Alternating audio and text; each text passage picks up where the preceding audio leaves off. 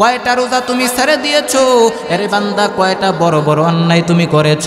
এরে বান্দা, তোমার গুণা যত পরেই হোক না কেন, ভালো করে মনে রাখবা, আমার আল্লাহর রহমত দয়া তার থেকেও বেশি বড়। আমার আল্লাহর রহমত যে কত বড় কত বড়, আমরা কল্পনাও করতে পারব না। এরে আল্লাহর গুলাম, আল্লাহর নবী স্পষ্ট হাদিসের মধ্যে জানাইয়া দেয়, ইন্না রহমাতি সাবাকত গদাবি। আল্লাহ তাআলা আরশের ওপর একটা সাইনবোর্ড টালাইলেন।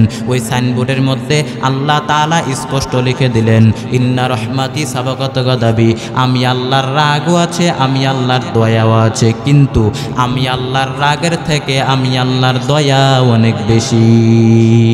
এরে বান্দা, আল্লাহর রহমত যে, আল্লাহর দয়া যে কত বড় কত বড়। আমরা কল্পনাও করতে পারব না। আল্লাহর নবী জানায় দেয়, আল্লাহ তাআলা রহমতটাকে একশোটা ভাগ করলেন, একশো ভাগের মধ্যে নিরানব্বই বাঘ আল্লাহ তালা তার নিজের কাছে রেখে দিলেন। আর মাত্র এক বাঘ গোটা মাখলুকতের মধ্যে ছড়িয়ে ছিটিয়ে দিলেন। এক বাঘ মায়ার যে এত পাওয়ার এক ভাগ মায়ার যে কত পাওয়ার এক ভাগ মায়া দিয়াই তাকায় দেখো, সন্তানের সামনে তার মা বাবারে কেউ কিছু বলতে পারে না, গালি দিতে পারে না।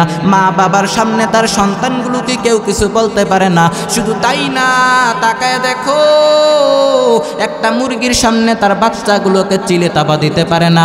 এক পাক মায়ার যে এত পাওয়ার এত পাওয়ার আরে আল্লাহর গুলাম, এক পাক মায়া দিয়েই তাকায় দেখো, কত ভালোবাসার গান। আবার সামনে আসতেছে চোদ্দই ফেব্রুয়ারি মহান ভালোবাসার দিবস। আসেনি? এরে যুবক সাবধান করে বলে যাই, চোদ্দই ফেব্রুয়ারি মুসলমানদের জন্য না, এজন্য আমরা এটার নাম দিছি বিশ্ব বেহায়া দিবস। বাংলাদেশের কিছু বড় বড় নাস্তিকের বাচ্চারা এ কালচারগুলো বাইরে থেকে নিয়ে আসছে। এরে বান্দা, আপনারা প্রতারিত হবেন না, চোদ্দই ফেব্রুয়ারির সময় উল্টা পাল্টা কাজ করবেন না। মা বাবাকে বলে দেই উপর দাঁড়ালের মা বোনেরা, আপনারা ওই দিন ঘর থেকে বের হবেন না উল্টা পাল্টা কাজ করবেন না। চোদ্দই ফেব্রুয়ারি মুসলমানদের জন্য না। ও মা, যদি ওই দিন উল্টা পাল্টা কাজ করেন, তাহলে বমি বমি ভাব হবে এরে আল্লাহর গুলাম, বলছিলাম তওবার কথা। আল্লাহর দরবারে তওবা করো। আল্লাহর নবী হাদিসের মধ্যে জানাইয়া দেয় আত্মা ইবুমিনা দাম্বি কামাল্লা দাম্বালা। গুনাহের থেকে তৌবা করনেওয়ালা ব্যক্তি এমন, একটা মায়ের পেট থেকে শিশু বাচ্চা দুনিয়ার জমিনে আসার পর, ওই শিশু বাচ্চার আমল নামায় যেমন কোনো গুণা থাকে না। একজন বান্দা গুনাগার বান্দা যদি আল্লাহর দরবারে খাটি নিয়তে তৌবা করে নেয়, ওই গুনাগার বান্দার আমল নামায়ও কোনো গুণা থাকে না। এরে বান্দা, আল্লাহর নবী হাদিসের মধ্যে স্পষ্ট জানায় দেয় আরে তোমরা সবাই পাপি ও খৈরুল খত্তা ইয়াত্তাওয়াবুন আল্লাহ নবী বলেন এরে উম্মত, তোমরা সবাই পাপি, তবে পাপীদের মধ্যে ওই পাপি সবচেয়ে ভালো পাপি। যেই পাপি পাপ করার পর আল্লাহর দরবারে তৌবা করতে দেরি করে না। এরে বান্দা তৌবার বড় দাম। সব সময় আল্লাহর তৌবার দরজা খোলা।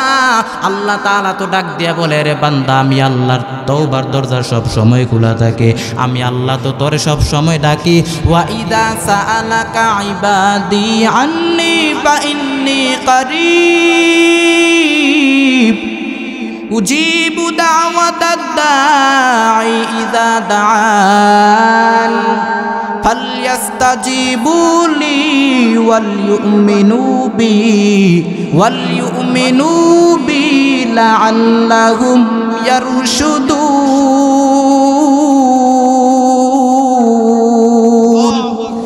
আল্লাহ বলে, বান্দা, তুই আমারে ডাক দিতে দেরি হবে। আমি আল্লাহ তোর জবাব দিতে দেরি করব না। এরে বান্দা, তুই আমি আল্লাহর কাছে চাইতে দেরি হবে। আমি আল্লাহ তোরে দিতে দেরি করব না। আল্লাহ তো বলে, আরে বান্দা, আমি আল্লাহ তো প্রথম আসমানে এসে আমি তার বান্দাদেরকে ডাকতে থাকি। কোন বান্দা আছো, গুনাহ মাফ করাইতে চাও? আমি আল্লাহর দরবারে ক্ষমা চাও। আমি আল্লাহ তোর জীবনের সব গুনাহ মাফ করে দিব। কোন বান্দা আছো, রিজিক চাও? আমি আল্লাহর দরবারে রিজিক চাও। আমি আল্লাহ তোর রিজিকের ব্যবস্থা করে দিব। এরে বান্দা, আল্লাহর দরবার তওবার দরজা সব সময় খোলা থাকে। এরে বান্দা, মাত্র দুইটা সময় তওবার দরজা বন্ধ হয়ে যায়। এক নাম্বার, যখন মালাকুল মৌত আপনার জান ধরে টান দিবে, তখন আর তওবা করার সুযোগ নাই। দুই নাম্বার, যখন পূর্ব দিক থেকে সূর্য না ওঠে, যখন পশ্চিম দিকে সূর্য ওঠা শুরু করবে, তখন আর তওবা করার সুযোগ নাই। এরে বান্দা, আল্লাহর দরবারে খাটি নিয়তে তওবা করে নাও।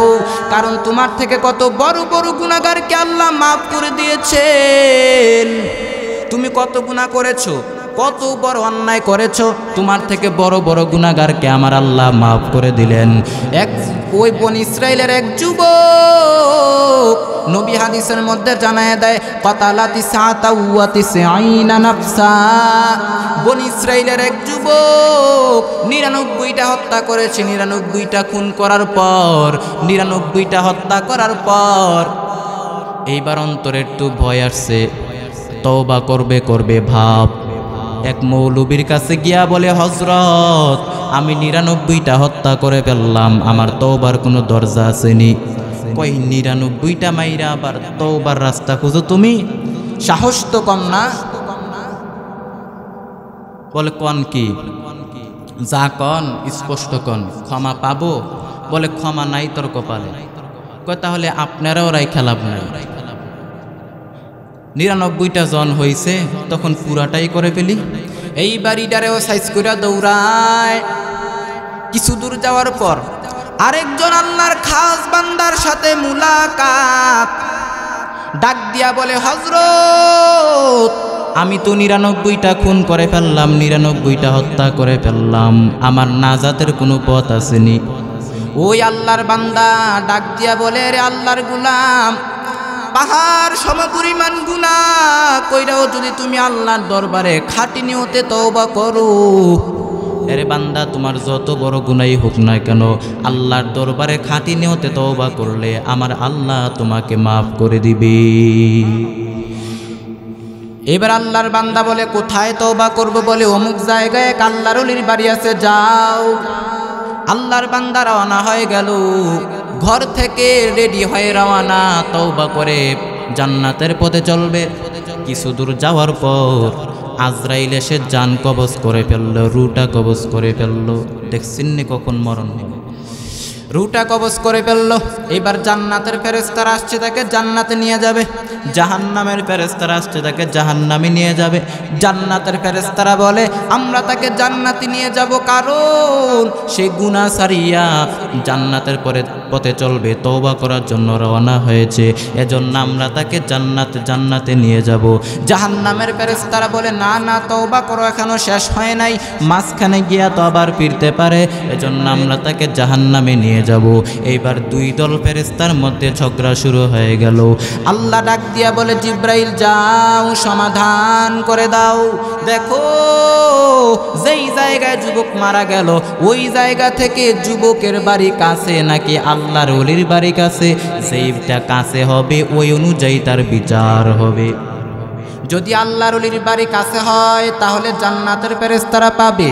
যদি আল্লাহর অলির বাড়ি দূরে হয়, যুবকের বাড়ি কাছে হয়, তাহলে জাহান্নামের ফেরেস্তারা পাবে, তাকে জাহান্নামে নিয়ে যাবে। মুফাসরিনে কেরাম বলেন, আসলেই যুবকের বাড়িটা আসলেই যুবকের বাড়িটা কাছে ছিল আল্লাহর অলির বাড়িটা দূরে ছিল আমার আল্লাহ যেহেতু রহমান আমার আল্লাহ যেহেতু রহিম আমার আল্লাহ যেহেতু গফ্ফার আমার আল্লাহ দয়া করিয়া মায়া করিয়া যুবকের বাড়িটা দূরত্ব করে দিয়া আল্লাহর অলির বাড়ির জায়গাটা কাছে করে দিলেন या एलाही मुझसे मुझको दूर कर ताके देखो मुझ में तुझको एक नजर या एलाही तू मेरा माबूद है এলাহি তু মেরা মাশুক হয়। আল্লাহ আল্লাহ, ক্যা মুবারক নাম হয়। আল্লাহ আল্লাহ আশে কুকা কাম হয়। আমাদের তো কোনো পরিচয় ছিল না, কোনো নাম ছিল না, কোনো গ্রাম ছিল না। লামিয়া কোন সাই আম্মাদ আমাদের উল্লেখ করার মতো কেউ ছিল না। আল্লাহ এটাই বুঝাইলেন যে তোদেরকে উল্লেখ করার মতো কিছুই ছিল না। তোদের কোনো পরিচয় ছিল না, কোনো নাম ছিল না। আমি আল্লাহ তোদেরকে সৃষ্টি করলাম, আমি আল্লাহ তোদেরকে বানাইলাম। সাবধান, অহংকারী করবি না। অহংকার করবি না। তোর থেকে বড় অহংকারী ছিল ফেরাউন।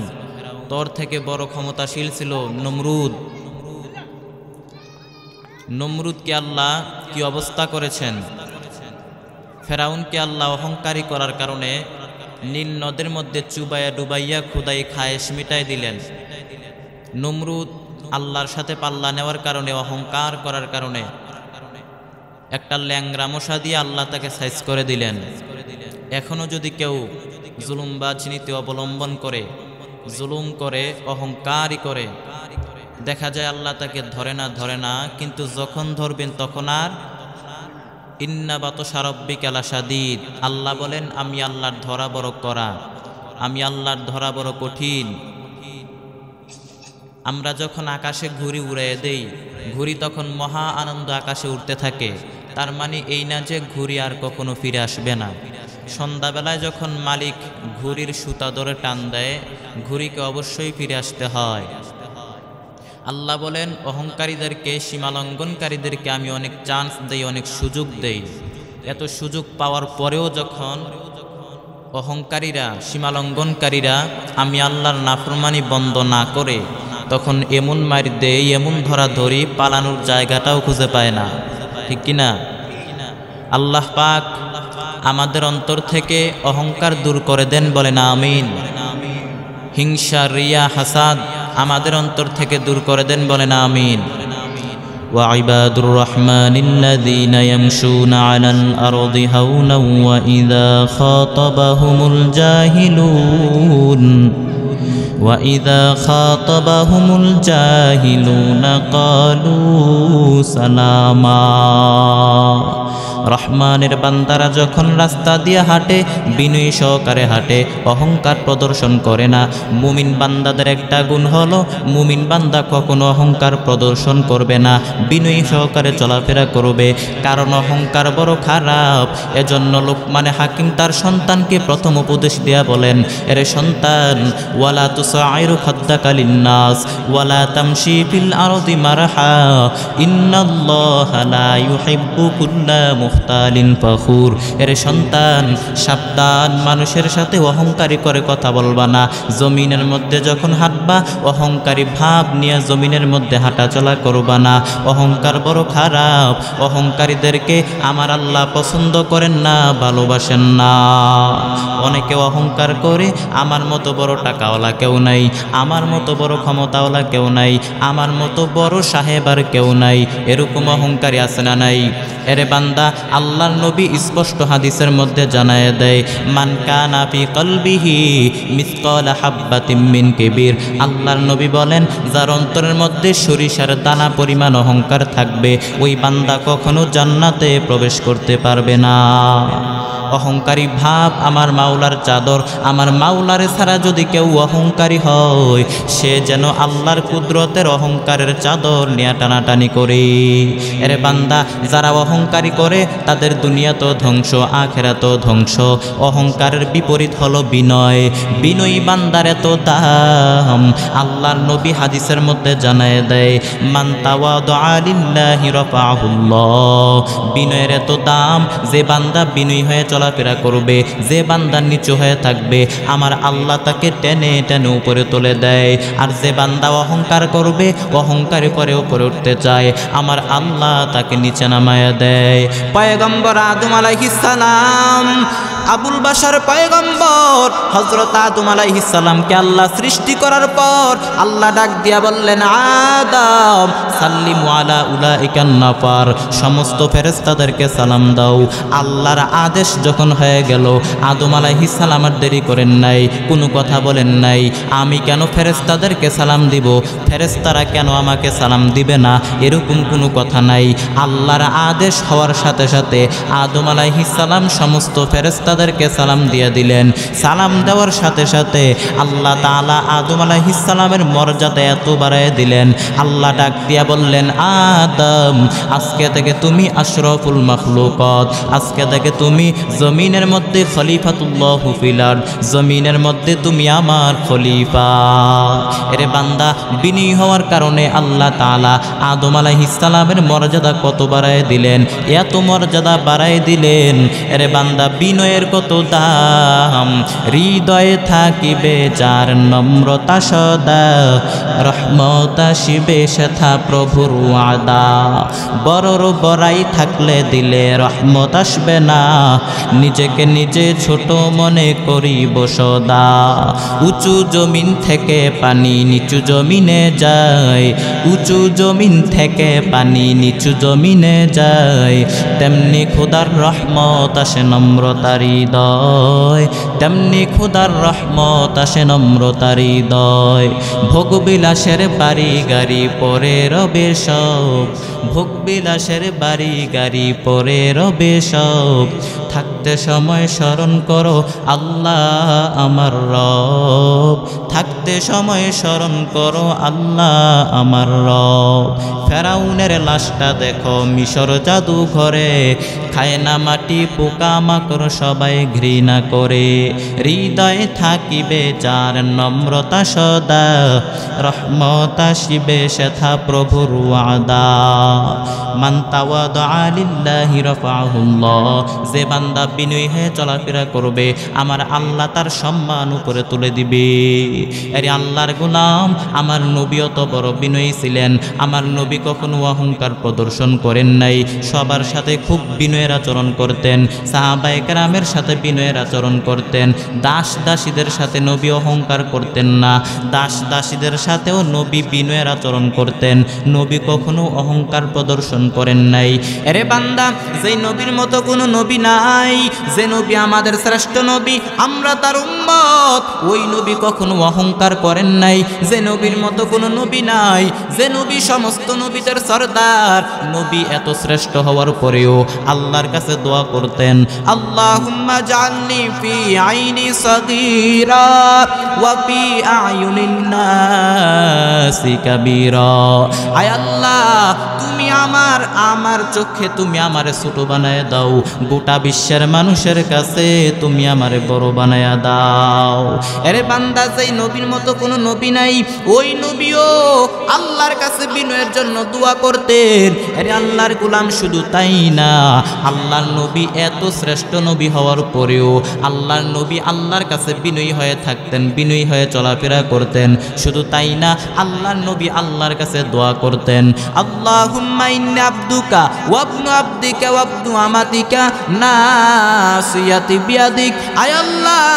আমি তোমার গুলাম, গুলামের ঘর গুলাম, আমার চোদ্দ গোষ্ঠী তোমার গোলাম। আল্লাহর নবী এইভাবে বলে বলে আল্লাহর কাছে দোয়া করতেন। এর বান্দা, যেই নবীর মতো কোনো নবী নাই, ওই নবীও আল্লাহর কাছে এইভাবে বলে বলে দোয়া করতেন। আমার নবী বিনয়ী হয়ে চলাফেরা করতেন, অহংকার প্রদর্শন করেন নাই। এরে বান্দা, আমার নবী সাহাবাই কারামের সাথে অহংকার করেন নাই। দাস দাসীদের সাথেও নবী ভালো আচরণ করেছেন, সুন্দর আচরণ করেছেন, চোখ রাঙ্গায় কোনোদিন কথা বলেন নাই। এরে বান্দা, আমার নবীর আদর্শ এত সুন্দর যেই নবীর আদর্শের মধ্যে কোনো ভেজাল নাই, যেই নবীর আদর্শের মধ্যে কোনো মিথ্যা নাই, যে নবীর আদর্শের মধ্যে আমানতের কোনো খেয়ানত নাই, যে নবীর আদর্শের মধ্যে ওয়াদার কোনো খেলাফ নাই। এরে বান্দা, আমার নবীর আদর্শ এত সুন্দর। জমিনের মধ্যে যত মানুষের আদর্শ আমরা দেখলাম, আব্রাহাম লিঙ্কনের আদর্শ দেখলাম, মাউ সেতুনের আদর্শ দেখলাম, কাল মার্সের আদর্শ দেখলাম, দুনিয়ার জমিনে যত মানুষের আদর্শ দেখলাম। আল্লাহর শপথ করে বলি, দুনিয়ার সব মানুষের নিজস্ব সব আদর্শ তৈরি করা সব না পাক একমাত্র মদিনার নবীর আদর্শই হলো পবিত্র। এরে বান্দা, আমার নবীর আদর্শের মতো কোনো আদর্শ নাই। এরে আল্লাহর গুলাম, আমার নবীর আদর্শকে গ্রহণ করে নাও। এরে বান্দা, আমার নবী শ্রেষ্ঠ, তার আদর্শ শ্রেষ্ঠ। এরে বান্দা, আমার নবীর আদর্শ এত সুন্দর। যারা আমার নবীর আদর্শকে গ্রহণ করে নেবে, তারাও দুনিয়ার জমিনে হয়ে যাবে অনেক সুন্দর। আইমামুল আউয়ালিন আল আখিরিন বহরে সাদকা রহমাতান লিল আলামিন সাইয়্যিদুল কাউনাইন খাতুমুল মুরসালিন আখিরা মুদবুয়াত ফখরুল আউয়ালিন আরে আল্লাহর গুলাম, নবীজির কালের দেড় হাজার বছর পর তাকায় দেখো আমার নবীরে দেখতে পারে নাই। এরপরও আমার নবীরে না দেখা দেখাও। দেড় হাজার বছর পরেও কত বেঈমান বিধর্মীরা আমার নবীর আদর্শ দেখা কালেমা পরে মুসলমান হয়ে গেল। এরে বান্দা, আমার নবীর আদর্শের মতো কোনো আদর্শ নাই। কেমন আমার মায়ার নবীর আদর্শ? এরে বান্দা, আমার নবীর আদর্শের মধ্যে তাকায় দেখো যে নবীর আদর্শের মধ্যে কোনো মিথ্যা নাই, যে নবীর আদর্শের মধ্যে কোনো গালাগালি নাই। এরে বান্দা, আমার নবীর আদর্শ এত সুন্দর, আমার নবী জীবনে কোনোদিন কাউকে গালাগালি করেন নাই। অথচ কত বেঈমান বিদুর্মীরা আমার নবীকে গালি দিয়েছে। আমার নবীকে এক ইহুদি বেঈমান এত গালাগালি শুরু করল, এত গালাগালি শুরু করল। বেঈমান আমার নবীকে গালি দেয়, আমার নবী হাসতেছেন, গালির জবাব দেয় না। পাশে দাঁড়ায়ছেন হজরত আবু বকর। বেঈমান আমার নবীকে গালি দেয়, কতক্ষণ আর সহ্য করা যায়? আবু বকর গালির জবাব দিতে চায়, নবী ইশারা করলেন আবু বকর গালির জবাব দিয়েন না, থামেন। বেঈমান এত গালাগালি শুরু করল। আবু বকর গালির জবাব দিয়া দিলেন। গালির জবাব দেওয়ার সাথে সাথে আমার নবীর মনটা বেজার হয়ে গেল, মলিন হয়ে গেল। আবু বকর ডাক দিয়া বললেন, ও পয়গম্বর, এতক্ষণ পর্যন্ত ইহুদি বেঈমান আপনাকে গালি দিতেছিল। আপনি শুধু হাসতেছিলেন হাসতেছিলেন। এখন আমি আবু বকর গালির জবাব দেওয়া মাত্র আপনার মনটা মলিন হয়ে গেল। ও পয়গম্বর বুঝলাম না। ও নবী, ইহুদি বেঈমান আপনাকে গালি দেয়, আমি কীভাবে সহ্য করব?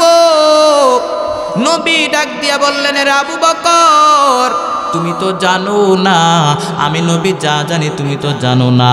এরে আবু বকর, এতক্ষণ পর্যন্ত যেই বেঈমান ইহুদি আমাকে গালি দিতেছিল, আল্লাহর একজন রহমতের ফেরেস্তা আমাদের পক্ষ হইয়া গালির জবাব দিতেছিল। যখনই তুমি বিচারটা নিজ হাতে নিয়ে নিলা, গালির জবাব দিয়া দিলা, তখন রহমতের ফেরেস্তা চলে গেল, আমার মনটা বেজার হয়ে গেল। আরে আল্লাহর গোলাম, আমার নবী জীবনে কোনোদিন কাউকে গালি দেন নাই। গালাগালি করে যদি আমার নবী ইসলাম প্রচার করতেন, কালিমার দাওয়াত দিতেন, তাহলে সুন্দর মক্কা হতো না, স্বর্ণের মদিনা বানাইতে পারতেন না। আরে আল্লাহর গুলাম, আমার নবী জীবনে কোনোদিন কাউকে গালি দেন নাই, অথচ কত বেঈমান আমার নবীকে গালি দিয়েছে। আরে আল্লাহর গুলাম, আমার নবী জবানের দ্বারা কাউকে কষ্ট দেন নাই। আল্লাহর নবী হাদিসের মধ্যে জানায় দেয় আল মুসলিমু মাং সালিমান মুসলিমুনা। খাঁটি মুসলমান ওই ব্যক্তি যার হাত এবং জবান দ্বারা মানুষ কষ্ট পায়, নাকি শান্তি পায়? শান্তি পায়। আল্লাহর নবী বলেন, দুইটা জিনিসের হেফাজতের যদি জিম্মা নেও, আমি নবী তোমাকে জান্নাতে নেওয়ার জিম্মা নিব।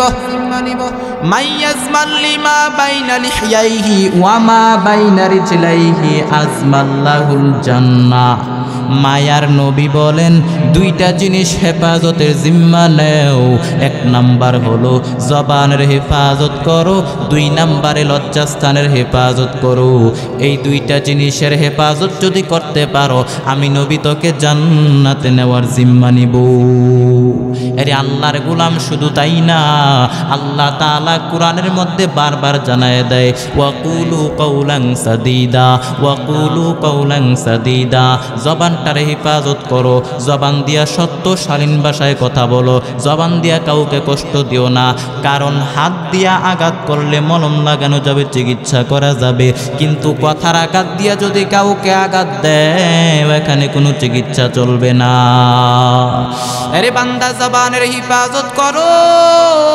জবানের হিফাজত যদি করতে পারো, আমার নবী তোমাকে জান্নাতে নেওয়ার জিম্মা নেবে। আরে আল্লাহর গুলাম, আমার নবীর আদর্শ এত সুন্দর। আমার নবী জীবনে কাউকে কোনোদিন গালাগালি করেন নাই, জবান দ্বারা কষ্ট দেন নাই। এরে বান্দা, আমার নবীর আদর্শকে গ্রহণ করে নেও। অথচ কত বেঈমান আমার নবীরে কষ্ট দিয়েছে। কত বেঈমান আমার নবীর গলার মধ্যে রুমাল লাগাইয়া, গামছা লাগাইয়া, জুড়ে টান দিয়া দিত। আমার নবীর জিব্বা মুবারক বের হয়ে গেল, ঘাম জড়তেছে বেঈমান, আমার নবীর গলা মুবারক থেকে রুমালটা ছেড়ে দেওয়া মাত্র। আমার নবী ওই বেঈমানের হাতের সাথে হাত মিলাইয়া মুস্কি হেসে দিলে। কিছু বলেন নাই, এরপরও তো আমার নবী গালাগালি করেন নাই, জবান দিয়া কষ্ট দেন নাই। অথচ কত বেইমানারা আমার নবীকে কষ্ট দিত। আমার নবী পাল্টা কিছু জবাব দেন নাই, গালাগালি পর্যন্ত করেন নাই। আরে আল্লাহর গুলাম, আমার নবীর আদর্শ কত সুন্দর। আজকে বেইমানের বাচ্চারা আমার নবীকে গালি দেয়। আমার নবীকে নিয়ে ব্যঙ্গচিত্র করে। আরে আল্লাহর গুলাম, পৃথিবীর কোনো প্রান্ত থেকে যদি কোনো বেইমান আমার নবীর বিরুদ্ধে কিছু বলার দুঃসাহস দেখায়, আমরা আল্লাহর কোরআনকে হিফাজতের জন্য, নবীর ইজ্জত রক্ষার জন্য প্রয়োজনে বুকের তাজা রক্ত ঢেলে দিব। এরপরও আমরা আল্লাহর কোরআন নবীর ইজ্জতকে অবমাননা হতে দিব না। বিশ্ব নবীর অপমানে যদি না কাঁদে তোমার মন, মুসলিম নয় মুনাফিক, তুমি নবীজির দুশ্মন। নবীর প্রেমে জীবন দিবে, কে আছো নৌজুয়ান তকবীর তুলে সিংহ শাবক হও তুমি আগুয়ান। তোমার বুকে ইমানের বল, জবানে আল কোরআন। ভয়ে কাপে উৎসব আর নরাধম শয়তান। জীবনের চেয়ে বুকে আছে বেশি নবীজির সম্মান। কেমনে তুমি থাকবে বসে হলে তার অপমান। তুমি সাচ্চা মুসলমান ইমান তোমার ধন। নবীর প্রেমে জাগ্রত তুমি নির্বিকি পানোয়ান তুমি সাচ্চা মুসলমান, ইমান তোমার ধন। নবীর প্রেমে জাগ্রত তুমি নির্বিকি পানোয়ান আরে আল্লাহর গুলাম আল্লাহর সানে বেয়াদুবি করলে আল্লাহর সানে নাফরমানি করা আমার আল্লাহ মাফ করেও দিতে পারেন। কিন্তু আমার রসুলের সানে বেয়াদুবি, আমার রসুলের বিরুদ্ধাচরণ করা আমার আল্লাহ বরদাস্ত করবে না। আরে আল্লাহর গুলাম, দুনিয়ার কোনো নাস্তিক যদি আমার নবীর বিরুদ্ধে কোনো কিছু বলার দুঃসাহস দেখায়, আমার নবীর পৃথিবীর প্রত্যেকটা প্রান্ত থেকে আমার নবীর কোটি কোটি উম্মত প্রতিবাদের জন্য তৈয়ার হয়ে যাবে। নাস্তিকতা নিপাত যাক, দিন ইসলাম জিন্দাবাদ। নাস্তিকতা নিপাত যাক, দিন ইসলাম জিন্দাবাদ। কোটি প্রাণে একই আওয়াজ। খোদাদ্রোহী ছাড় পাবে না, এই বাংলায় ঠাই হবে না। মুসলমানরা জেগেছে আজ। জোর কদমে সামনে চলো, বজ্র কণ্ঠে আওয়াজ তুলো, সবাই মিলে একই তালে দাও না স্লোগান। নারায় তাকবীর নারায় তাকবীর। ইসলামেরই জন্ম দেশের হয়েছে জন্ম। ইসলামের বিরুদ্ধে গেলে দেশ হবে ভিন্ন। ইসলামেরই জন্ম দেশের হয়েছে জন্ম। ইসলামের বিরুদ্ধে গেলে দেশ হবে ভিন্ন। ইসলামের বিরুদ্ধে যারা নিয়েছ অবস্থান, এই বাংলায় ঠাই হবে না যাও হিন্দুস্তান। ঠিক কিনা বলেন? জোর কদমে, সামনে চলো, বজ্রকণ্ঠে আওয়াজ তুলো, সবাই মিলে একই তালে দাও না স্লোগান। নারায় তাকবীর। দিন ইসলাম দিন ইসলাম। আল কোরআনের আলো। ইসলামের আলো। বিশ্বনবীর অপমান। বিশ্বনবীর অপমান। সইবে না কো মুসলমান। আল্লাহ আমাদের এই স্লোগানকে কবুল করেন বলেন আমিন। আরে আল্লাহর গুলাম, গত কয়েক বছর আগে এক বেঈমানের বাচ্চা আমার নবীকে গালি দিয়েছিল। আমার নবীর বিরুদ্ধে আর বলেছিল, আমার নবীর বিরুদ্ধে ব্যঙ্গচিত্র করেছিল। আল্লাহ তাকে গাড়িতে অ্যাক্সিডেন্ট করে মেরেছেন। আল্লাহ তাকে গাড়িতে পুরে মেরেছেন। সাধারণত গাড়ি অ্যাক্সিডেন্ট হলে আগুন ধরে না। কিন্তু এই বইমান যখন অ্যাক্সিডেন্ট হলো, তার গাড়িতে আগুন ধরে গেছে। কারণ সে নবীর কোটি কোটি উম্মতের হৃদয়ে আগুন ধরিয়ে দিয়েছিল। এজন্য আল্লাহ তার আগুন দিয়ে পুড়িয়ে মারছেন। আরে আল্লাহর গুলাম, আল্লাহর বিরুদ্ধে আচরণ করলে আমার আল্লাহর শানে নাফরমানি করলে আমার আল্লাহ মাফ করেও দিতে পারেন। কিন্তু আমার রসুলের শানে বিরুদ্ধে আচরণ করা, বেয়াদবি করা আমার আল্লাহ কখনো বরদাস্ত করবে না। আরে আল্লাহর গুলাম, বলছিলাম আমার নবীর আদর্শ এত সুন্দর। আরে যুবক, আমার নবীর আদর্শকে গ্রহণ করে নাও। উলামায়ে কেরাম তো তোমাদেরকে বলে না, তোমরা স্কুল ছেড়ে মাদ্রাসায় যাও, চাকরি ছেড়ে দাও, বরং স্কুলে পড়ো পড়ো, কলেজে পড়ো পড়ো, চাকরি করো, ব্যবসা করো। যেখানে থাকো থাকো, কোনো বাধা নাই। তোমাদের কাছে উলামায়ে কেরামের একটাই আবদার, মদিনার নবীর আদর্শের মালাটা গলার মধ্যে লাগায় নাও। তোমার মতো কত যুবক স্কুল, কলেজে পড়ে, পাঁচ ওয়াক্ত নামাজ পড়ে, এক ওয়াক্ত নামাজও বাদ দেয় না, এরকম আছে না নাই? আরে যুবক, তোমার মতো কত যুবক?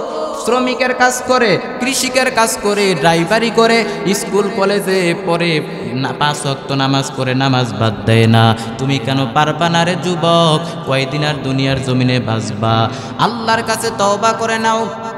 আরে বান্দা, দুনিয়াটা কিছুই না। একটু চিন্তা ভাবনা করে দেখো, দুনিয়াটা কিছুই না। মরিচিকার মতো আমরা পড়ে আছি দুনিয়াটা একটা মরিচিকা। এই দুনিয়ার মহাচ্ছন্নে আমরা মহাচ্ছন্ন হয়ে আছি। আসলে দুনিয়াটা কিছু না। এরে আল্লাহর গুলাম, সময় থাকতে আমার দর, আমার আল্লাহর দরবারে তওবা করে নাও। এরে বান্দা, তওবার বড় দাম। আল্লাহর দরবারে খাঁটি নিয়তে তওবা করে নাও। আল্লাহ তাআলা তো কোরআনের মধ্যে স্পষ্ট জানায় দেয় তওবার ব্যাপারে। ইয়া আইয়ুহাল্লাযীনা আমানু তুবু ইলাল্লাহি তাওবাতান নাসুহা তওবা করো এরে বান্দা, তওবার মতো যদি তওবা করতে পারো, ক্ষমার মতো যদি ক্ষমা চাইতে পারো, চোখের পানি ছাড়ার মতো ছেড়ে যদি আল্লাহর দরবারে তৌবা করে কান্না করতে পারো। আল্লাহ বলে, বান্দা, তোর চোখের পানি ছেড়ে তৌবা করতে দেরি হবে, আমি আল্লাহ তোরে মাফ করতে দেরি করব না। এরে বান্দা, তুমি কয়টা অন্যায় করেছ, কয়টা নামাজ তুমি ভেঙ্গে দিয়েছ, কয়টা রোজা তুমি ছেড়ে দিয়েছ, এরে বান্দা, কয়টা বড় বড় অন্যায় তুমি করেছ, এরে বান্দা, তোমার গুনাহ যত বড়ই হোক না কেন, ভালো করে মনে রাখবা, আমার আল্লাহর রহমত দয়া তার থেকেও বেশি বড়। আমার আল্লাহর রহমত যে কত বড় কত বড়, আমরা কল্পনাও করতে পারব না। আরে আল্লাহর গুলাম, আল্লাহর নবী স্পষ্ট হাদিসের মধ্যে জানাইয়া দেয়, ইন্না রহমাতি সাবাকত গদাবি। আল্লাহ তাআলা আরশের ওপর একটা সাইনবোর্ড টালাইলেন। ওই সাইনবোর্ডের মধ্যে আল্লাহ তাআলা স্পষ্ট লিখে দিলেন, ইন্না রহমাতি সাবাকত গদাবি আমি আল্লাহর রাগও আছে, আমি আল্লাহর দয়াও আছে, কিন্তু আমি আল্লাহর রাগের থেকে আমি আল্লাহর দয়া অনেক বেশি। এরে বান্দা, আল্লাহর রহমত যে, আল্লাহর দয়া যে কত বড় কত বড়। আমরা কল্পনাও করতে পারব না।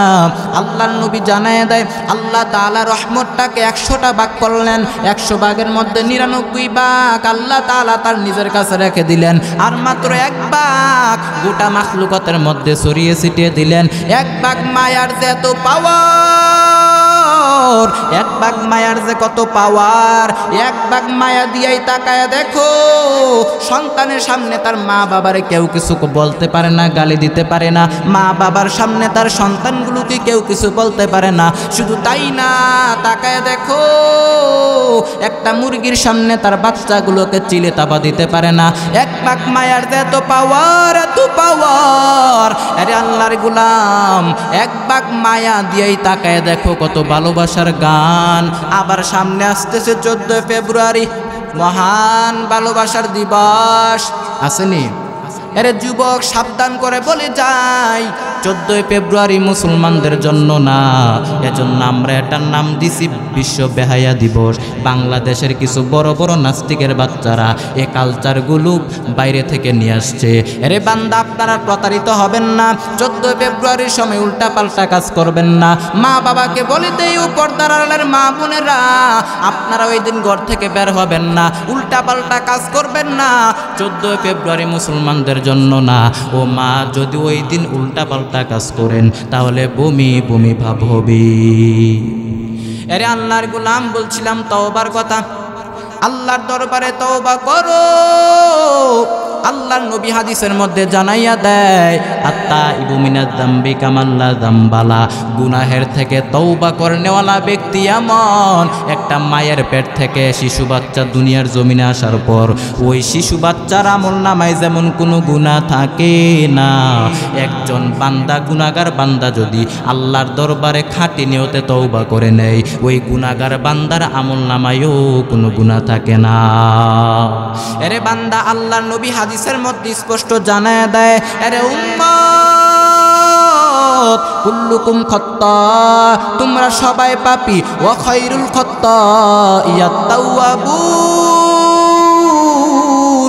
আল্লাহ নবী বলেন এরে উম্মত, তোমরা সবাই পাপি, তবে পাপীদের মধ্যে ওই পাপি সবচেয়ে ভালো পাপি। যেই পাপি পাপ করার পর আল্লাহর দরবারে তৌবা করতে দেরি করে না।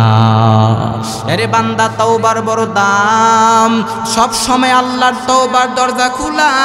আল্লাহ তাআলা তো ডাক দিয়া বলে রে বান্দা, আমি আল্লাহর তৌবার দরজা সব সময় খোলা থাকে। আমি আল্লাহ তো তোরে সব সময় ডাকি। ওয়া ইদা سألك عبادي عني فإني قريب.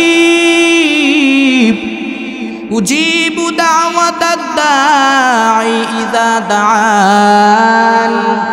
فليستجيبوا لي وليؤمنوا بي وليؤمنوا بي لعلهم يرشدون.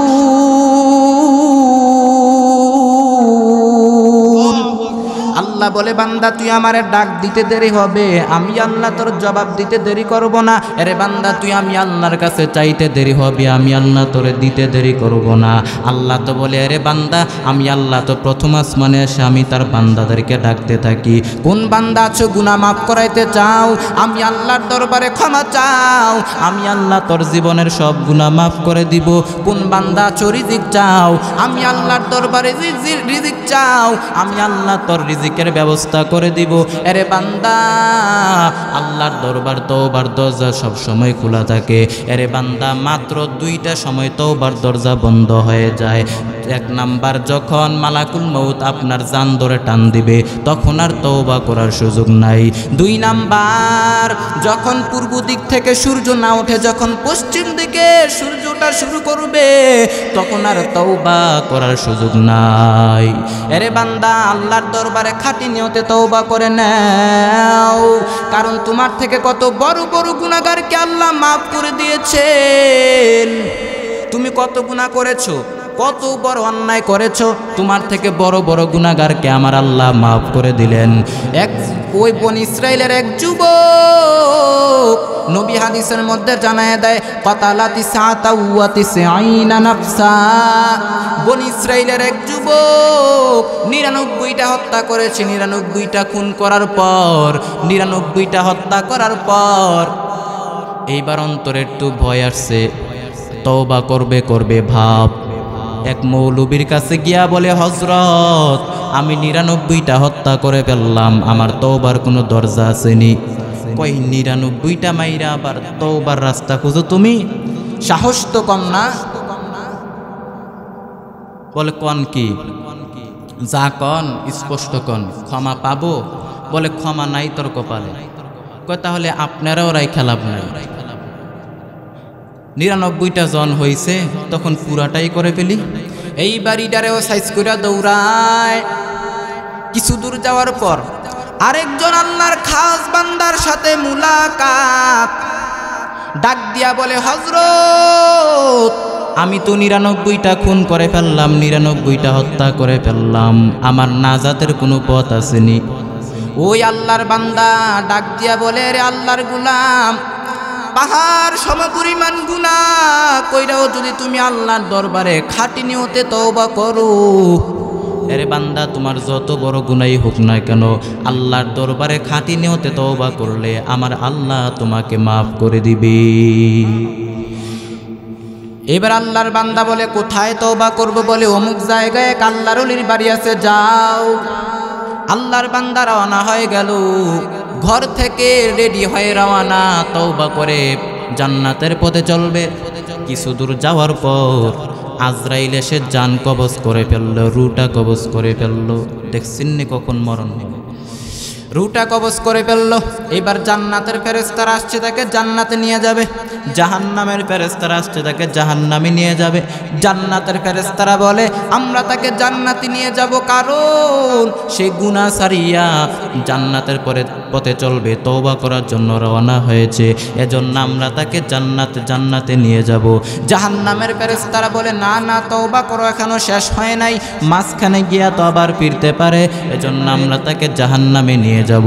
এইবার দুই দল ফেরেস্তার মধ্যে ঝগড়া শুরু হয়ে গেল। আল্লাহ ডাক দিয়া বলে, জিব্রাইল, যাও, সমাধান করে দাও। দেখো, যেই জায়গায় যুবক মারা গেল, ওই জায়গা থেকে যুবকের বাড়ি কাছে নাকি আল্লাহর অলির বাড়ি কাছে, যেইটা কাছে হবে, ওই অনুযায়ী তার বিচার হবে। যদি আল্লাহর অলির বাড়ি কাছে হয়, তাহলে জান্নাতের ফেরেস্তারা পাবে। যদি আল্লাহর অলির বাড়ি দূরে হয়, যুবকের বাড়ি কাছে হয়, তাহলে জাহান্নামের ফেরেস্তারা পাবে, তাকে জাহান্নামে নিয়ে যাবে। মুফাসরিনে কেরাম বলেন, আসলেই যুবকের বাড়িটা আসলে এই যুবকের বাড়িটা কাছে ছিল আল্লাহর অলির বাড়িটা দূরে ছিল আমার আল্লাহ যেহেতু রহমান আমার আল্লাহ যেহেতু রহিম আমার আল্লাহ যেহেতু গফ্ফার আমার আল্লাহ দয়া করিয়া মায়া করিয়া যুবকের বাড়িটা দূরত্ব করে দিয়া আল্লাহর অলির বাড়ির জায়গাটা কাছে করে দিলেন या एलाही मुझसे मुझको दूर कर ताके देखो मुझ में तुझको एक नजर या इलाही तू मेरा माबूद है या इलाही तू मेरा माशूक है अल्लाह अल्लाह